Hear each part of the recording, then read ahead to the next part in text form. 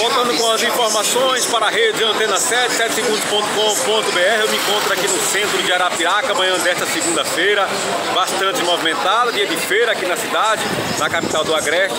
Mas a informação é de que dois indivíduos é, assaltaram essa farmácia é, aqui atrás, vocês podem ver aqui na filmagem, aqui no centro da cidade, Avenida Rio Branco. E de acordo com o gerente, foram roubados alguns pertences que ficam aqui nas primeiras prateleiras da farmácia. Não conseguiram levar dinheiro e nem chegaram a abordar os funcionários. É, os indivíduos pegaram os, itens que conseguiram, os dois indivíduos, e fugiram, tomando destino ignorado. Uma equipe da polícia também foi comunicada sobre o, o assalto.